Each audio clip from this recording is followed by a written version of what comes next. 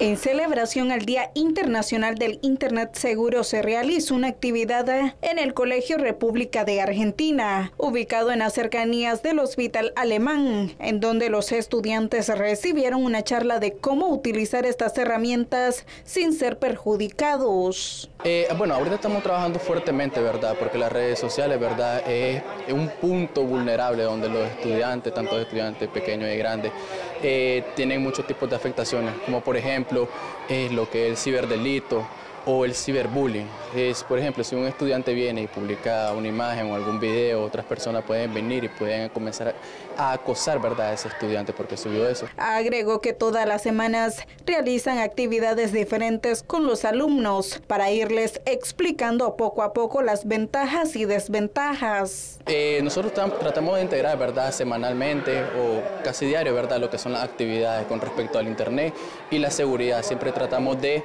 Eh, cultivar, ¿verdad? Eso en los estudiantes, que tengan cuidado, ¿verdad? Que haya alguien que lo esté monitoreando en el caso que sean menores de edad, ¿verdad? Estudiantes de sexto grado, cuarto y quinto año de secundaria fueron los que participaron en esta charla, quienes algunos de ellos iban preparados y realizaron exposiciones. Pues me parece perfecto que actualmente cada uno de los estudiantes de cada colegio e incluso adultos jóvenes y niños ya tengan acceso al Internet y a los dispositivos móviles, ya que esto es una, un medio muy importante para el acceso al conocimiento. Con imágenes de José Benito Suazo en Crónica TN8, Selena Cruz.